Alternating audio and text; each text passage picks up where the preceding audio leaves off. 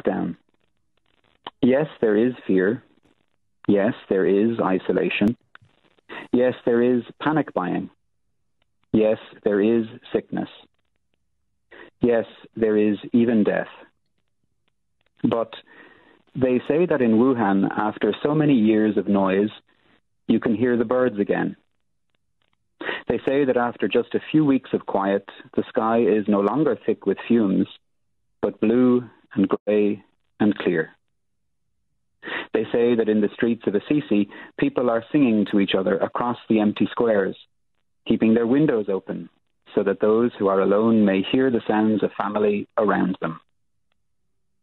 They say that a hotel in the west of Ireland is offering free meals and delivery to the housebound. Today, a young woman I know is busy spreading flyers with her number through the neighbourhood so that the elders may have someone to call on. Today, churches, synagogues, mosques, and temples are preparing to welcome and shelter the homeless, the sick, the weary. All over the world, people are slowing down and reflecting. All over the world, people are looking at their neighbours in a new way.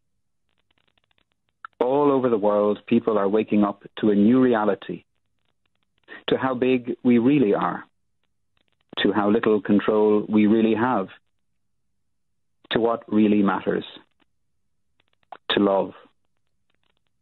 So we pray and we remember that yes, there is fear, but there does not have to be hate. Yes, there is isolation, but there does not have to be loneliness. Yes, there is panic buying, but there does not have to be meanness. Yes, there is sickness, but there does not have to be disease of the soul. Yes, there is even death, but there can always be a rebirth of love. Wake to the choices you make as to how to live now. Today, breathe. Listen. Behind the factory noises of your panic, the birds are singing again. The sky is clearing. Spring is coming. And we are always encompassed by love. Open the windows of your soul. And though you may not be able to touch across the empty square, sing.